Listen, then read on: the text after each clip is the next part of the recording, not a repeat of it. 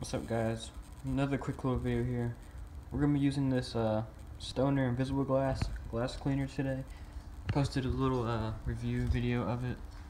I'm just gonna be putting it on this uh, driver window right here. It's not too dirty, but uh, that's weird when you I can see myself. But like I said, it's not too dirty, but we're gonna use it anyway because I'm bored. Plus there's a couple of smudges and stuff on it. So shake it up. Let's just kind of spray it on. Alright, that did absolutely nothing. Oh, there it goes.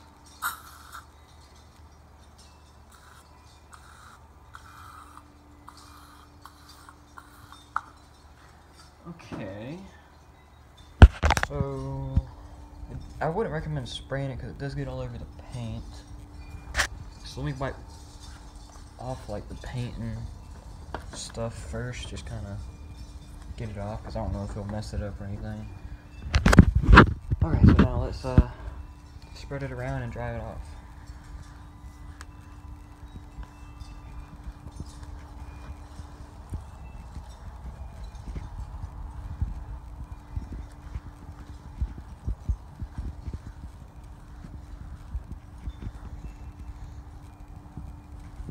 Try to like buff it off real quick.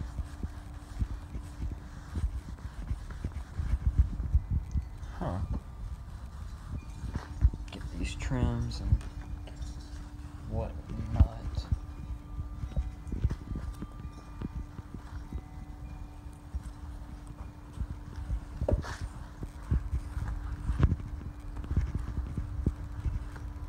Okay.